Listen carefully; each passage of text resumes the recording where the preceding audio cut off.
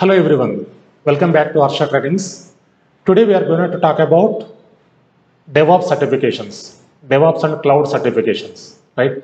Yeah, so when we talk about certifications, so people are confusing here. Yeah, so when we talk about cloud certifications, so in AWS we have AWS Solution Architect Associate is the first paper, right? So and second paper is AWS Solution Architect Professional. Fine. So these are the two papers. So when we talk about AWS certification, so certification is not mandatory. So in real-time projects, certification is not mandatory. So either AWS or Azure or GCP or DevOps certification is not mandatory. So if you have certification, it would be added advantage, right? For example, four people are attended the four people are attended the interview, right? So in that four people, two people are shortlisted.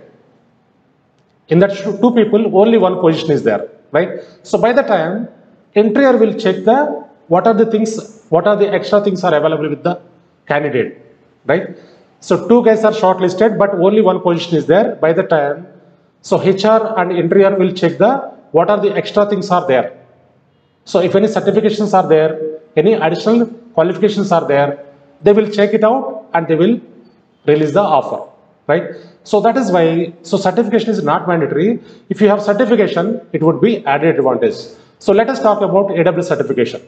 In AWS certification, so we have AWS Certified Solution Architect Associate is the first paper, right? Second paper is AWS Solution Architect Associate Professional is the second paper, right?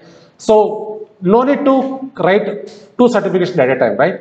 So you can clear only one certification, that is enough to you. Once you get into the project, then you can write second paper. Fine.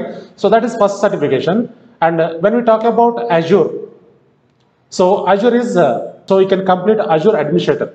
So Azure Administrator, which is 104, is the first paper. And Azure Professional is the second paper, right?